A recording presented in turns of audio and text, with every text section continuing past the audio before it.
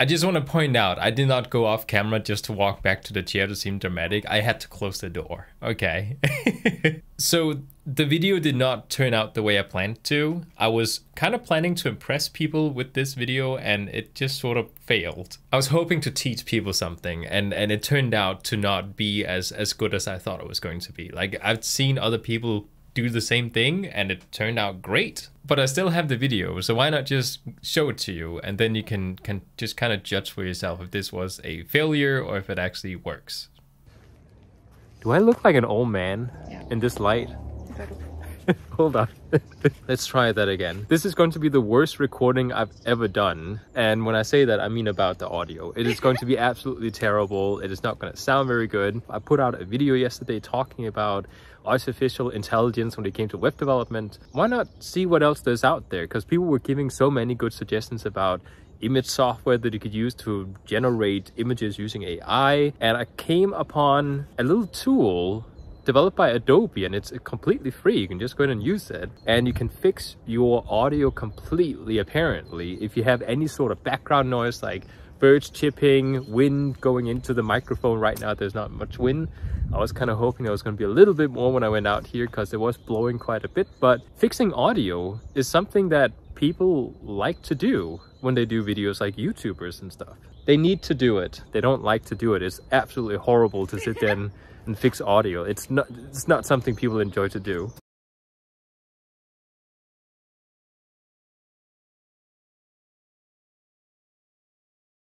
Hold on, I, I have to put this back on for this gets to work. Just like this. And the microphone is actually working now, so. So what I'm basically going to do now is I am going to take the recording there we go. From my phone and put it inside my computer. Luckily, my wife showed me how to do so because apparently getting iPhone files to your PC is, is something that is not easy to do. But I'm going to take some of the recordings that I made outside with a lot of wind, a stream of water in the background making noise and different things, run it through an AI in order to fix the audio to make it into studio quality and then see how it's going to sound like. I didn't mean to give you a shock. So right now we have these five videos here that I'm going to extract the audio from and then run them through a AI in order to make it sound really good somehow. I'm gonna take this off. this is, uh, this was good for the outside when there was a lot of cold because we live in the north. But before we do that, I actually want to show exactly what kind of tool we're going to be using because as you can see, we have something called podcast.adobe.com, uh, which is a Adobe created tool to enhance audio or to tell you if there's something wrong with the audio quality of a microphone as you're talking into it.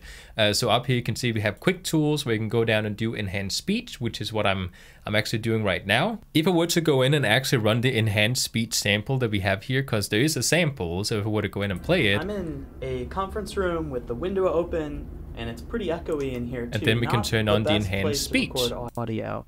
Yet with enhanced speech, all of the background noise and echo is gone, as if I recorded this in a professional studio.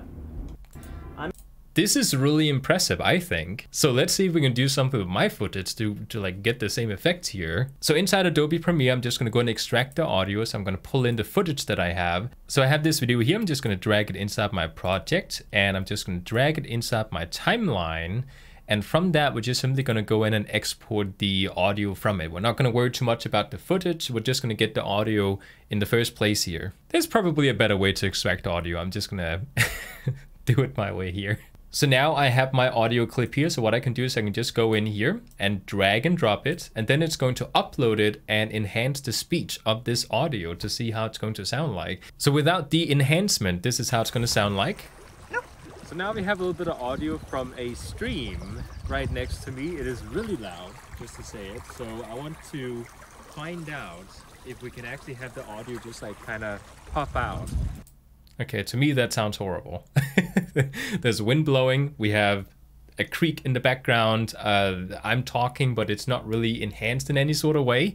Uh, it doesn't sound like a, a, podcast or something like that. So let's see how it sounds like if I turn this on. So now we have a little bit of audio from a stream right next to me. It is really loud, was to say it. So I want to find out if we can actually have the audio just like kind of pop out in studio quality using AI. Okay, that sounds very robotic, honestly.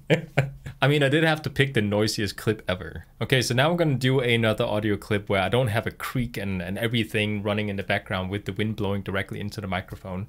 Um, so let's try something a little bit more normal. so to speak. Again, I, I just want to point out here, I'm not advertising for AI saying that, oh, it's going to solve all your issues. Like it's, it's, I'm showing you a tool that I found and I want to demonstrate what it can do right now when it comes to AI fixing audio enhancement. Um, but I do also want to point out here that this is fixing really terrible audio. But what if you take like a cell phone and you're sitting inside a room like I'm doing right now and you try to record into a cell phone, you don't have access to a expensive microphone can you make a cell phone in a regular room sound like studio quality because that is going to be a huge difference to a lot of people that might want to do you know videos or voiceover or being a youtuber or something so that is going to be something we're going to test after this clip here as well there we go okay so this is going to be the worst recording i've ever done and i'm pointing it directly at the sun that is, of course, what I'm supposed to do. My wife is next to me, by the way. That sounds really good. I just want to say there was birds chirping, there was wind in the background. It, it wasn't as bad as wind and a big creek right behind me, but that was pretty terrible too when I was recording it. So having this clean audio here, I couldn't tell that there was anything going on in the background is pretty amazing. So we're to drag in the enhanced audio here and I'm going to go in and drag it underneath my video. So I'm going to untoggle the new one and play it. There we go. Okay, so this is going to be the worst recording I've ever done and I'm pointing it directly at the sun. That is, of course, what I'm supposed to do. My wife is next to me, by the way. So we have like uh, birds chirping, there's wind going on. It is definitely not a optimal environment. If I were to go back again and do the new recording here instead of the old one, there we go. Okay, so this is going to be the worst recording I've ever done, and I'm pointing it directly at the sun. That is, of course, what I'm supposed to do. My wife is next to me, by the way. I definitely think there is room for improvement here because it does sound a little bit, um, you can definitely tell there's been a lot of effects put on top of this audio to make it sound good. But imagine being in a environment where you want to sort out any sort of background noise because you want just your voice to be heard, then this is definitely going to be a lot better. So now let's try something a little bit different because not everyone has access to a good microphone. I have one right here, I have one sitting over there, I have one sitting over there.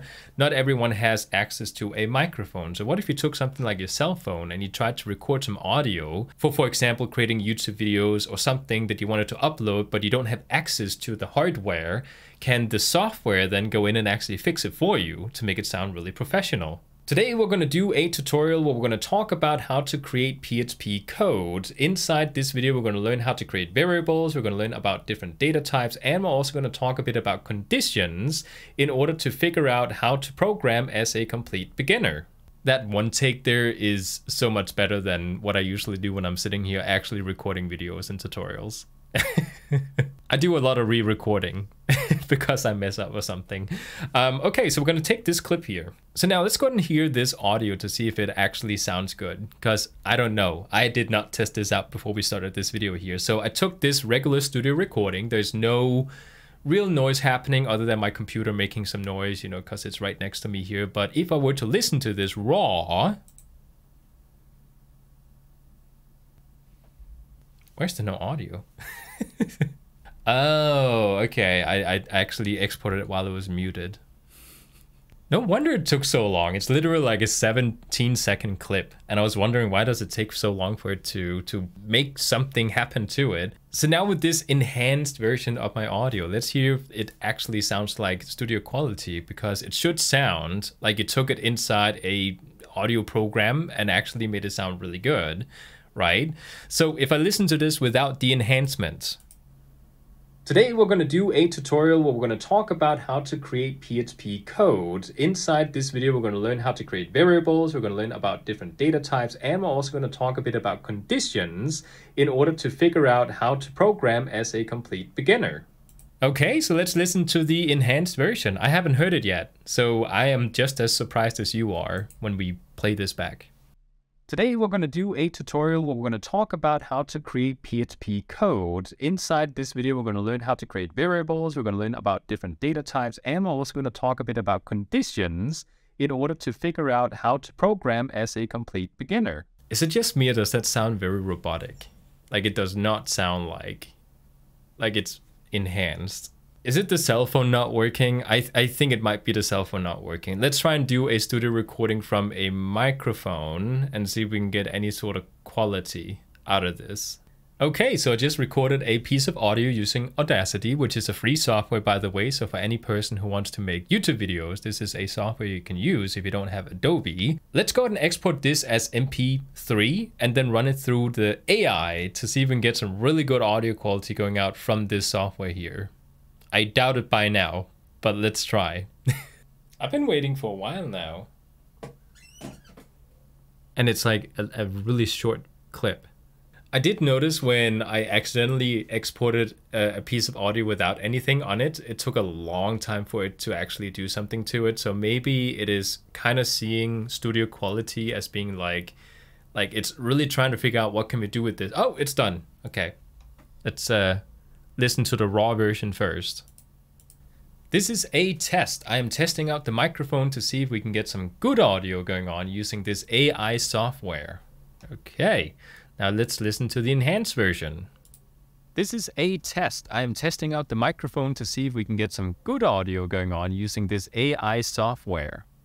I think we can conclude here that the AI software is definitely not really, it's not perfected yet it, it is good. It is definitely taking uh, really bad footage and it is converting it into something that is more usable if you were to, let's say, accidentally record something that you didn't know there was like a fan going on in the background or a, a, a creek or something, you know, birds chipping. How can you remove that, right? So clearly this is a tool you can use for certain circumstances, but I think when it comes to just like studio quality, I don't, I don't really think it's um, it sounds like text to speech. You know, when you type something into the computer and it, it tells you how it sounds like, like it, it talks out loud and it sounds very robotic. So what is the point with this video here? Because originally I planned to record this video to amaze people watching. So you can say, hey, I took this footage in the forest and I turned it into really good studio quality using AI software, um, which is definitely not what just happened. But I do think it's very interesting to see how far AI has actually come when it comes to, for example, image enhancing, you know, creating images out of nothing. I did get a lot of suggestions in the last video on different software that could be used. My friend did also send me a couple of links to uh, some image generating software. And when you take a look at something like ChatGPT that can generate information for you, so you can go in and say, hey, could you create a learning schedule for learning HTML and CSS? Then it's going to spit it out for you if you go in and you try to do audio enhancement, then they are working on something that can be used. So even though it's not perfected yet, we still have a lot of things that is being worked on. So even though it is Adobe Podcast Beta, which is not really the tool we were using just now, it is still part of what that website has to offer. So it, I would assume it's still in a beta, right? But it's just really interesting to see. Like AI is something that is going to become part of our everyday life in maybe five till 10 years. It is something that is going to be a thing. I do know there's some people sitting out there thinking, oh, another YouTuber talking about AI and testing things out and trying to impress us with how far AI has come, you know, jumping on the hype train, poot toot, you know.